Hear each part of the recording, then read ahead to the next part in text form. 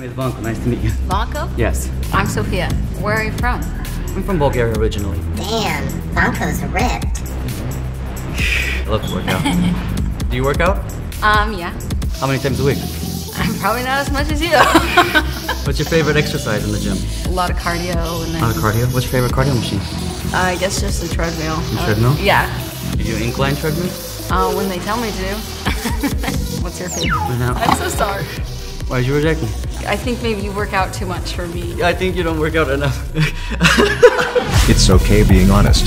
Try to find people with the same hobbies and energy. It's okay if someone doesn't like you. Just move on. Never change to be liked by others. Keep working hard and see you next time.